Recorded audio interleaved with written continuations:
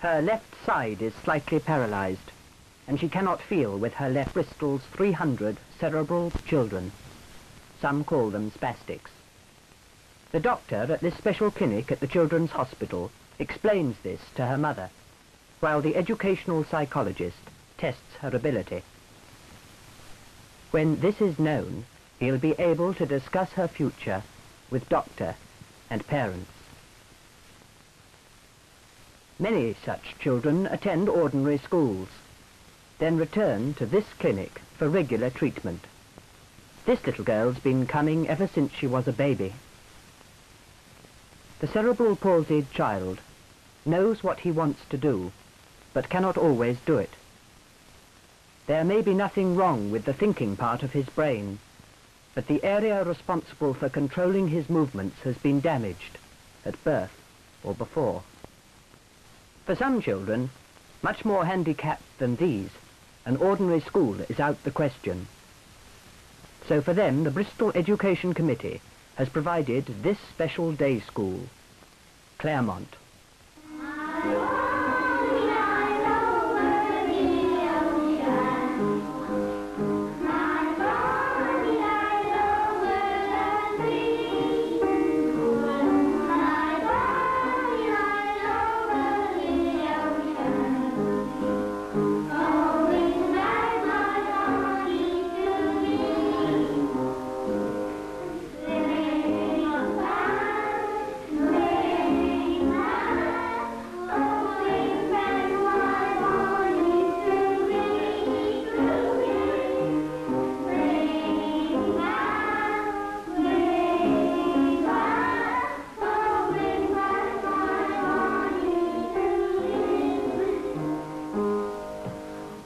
Years ago, it was assumed that children like these could not be taught.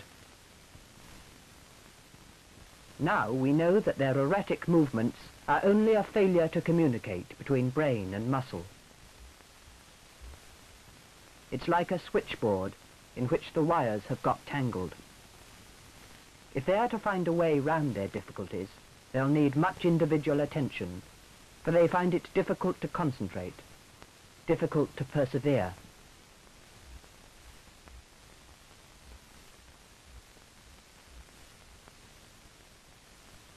Colin knows the answer to his sum. So he pulls out the numbered pegs. Then his teacher can write it down. Catherine has more control, but not enough to hold a pencil. So she does this. Peter's another who cannot write, but he too has been shown a way to express himself. For Mary, it takes a long time to produce a word, spelling it out letter by letter. But she knows what letter she's after, and she knows her teacher will be there to copy it down for her. It took her a quarter of an hour to write the first line. To finish it, we'll need a lot more hard work and encouragement. Handicaps vary, so almost every child has to be taught in a different way. But all these children can read, and some of them are making such progress that they will later be transferred to ordinary schools. An occasional cerebral palsied child even reaches the university, so normal school work must not be neglected.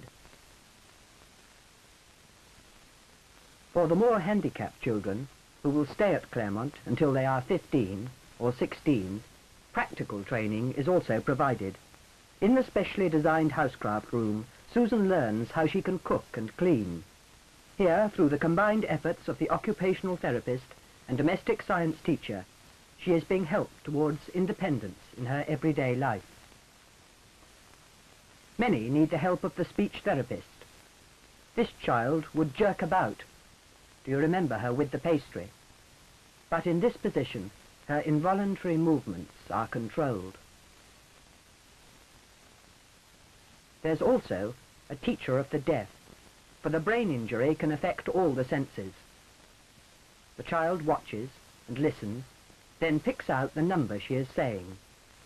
It's just like a game at first, but it's a game on which a great deal is going to depend.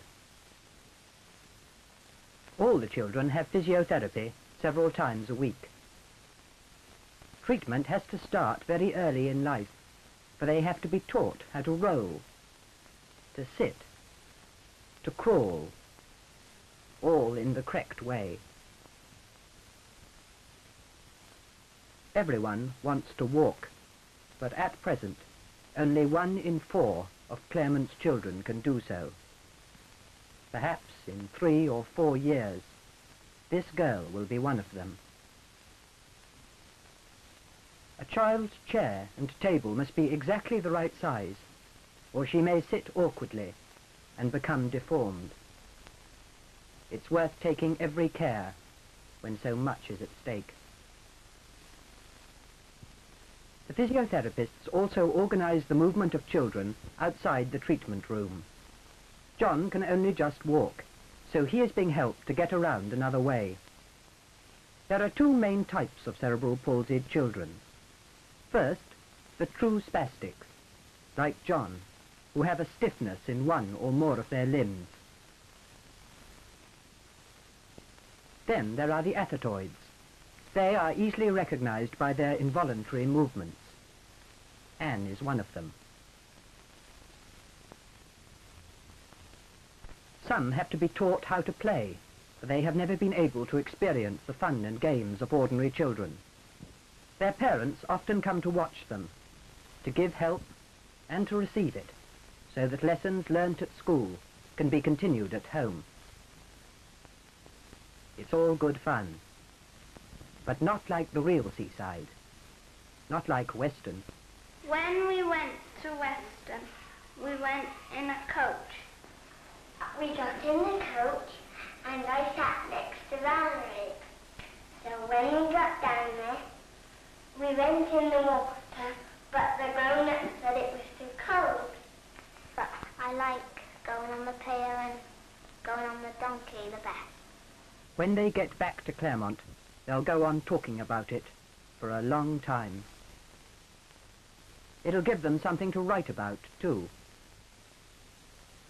And if you can't write one way, well, you write another. Meanwhile, there's another task ahead. Feeding practice this time. Jimmy finds the thick-handled spoon easier to grasp. It may take an athetoid years before he can manage without these aids, but he won't be satisfied until he can eat just like his ordinary brother and sister. When the children from the neighbouring junior school go home, even the youngest at Claremont knows it's time for lunch. A guiding hand from the speech therapist. And she's doing fine. Some 15 of the 38 children need help with feeding. So it's all hands on deck. Therapists, teachers, some of the parents, the headmistress. Everyone helps.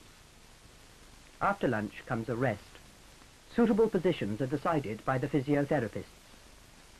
Gradually, the children are learning to look after themselves and to help each other, like this athetoid girl and spastic boy.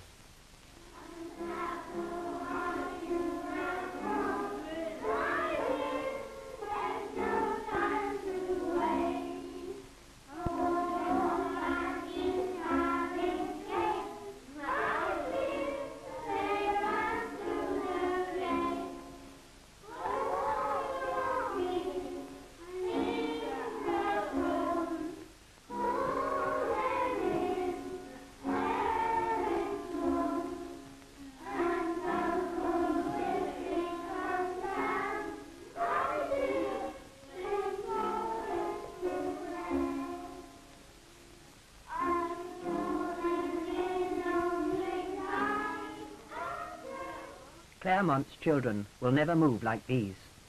But it's a happy sight for them when the girls from the neighbouring junior school come up to share in their pack meeting. Today's rather a special occasion, for one little girl at least. She's just seven and a half, but she's carefully learnt what she must say. And now everyone's looking at her. Not an easy situation for a cerebral palsied child. Gives in to the older folk. A brownie does not give in to herself. I promise to do my best, to do my duty to God and the Queen, To help other people every day, especially those at home. And so she is accepted, accepted by ordinary children. But what will happen when she leaves school? Will she be accepted then?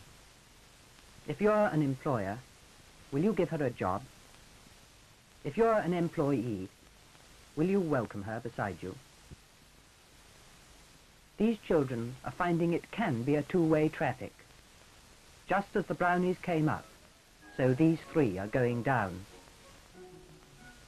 Their neighbours are giving them a chance. Later on, will the rest of us do the same?